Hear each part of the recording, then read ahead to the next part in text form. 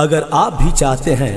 Are के music का video सबसे पहले आप तक पहुँचे तो लाल बटन को दबाकर चैनल को ज़रूर सब्सक्राइब करें और साथ में बेल आइकन को दबाना ना भूलें।